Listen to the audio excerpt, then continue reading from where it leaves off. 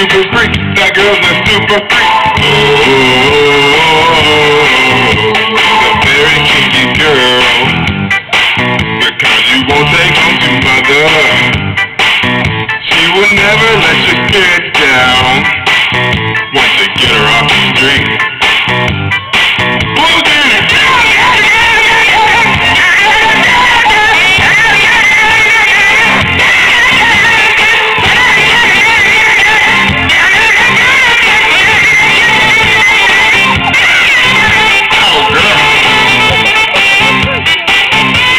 Yes.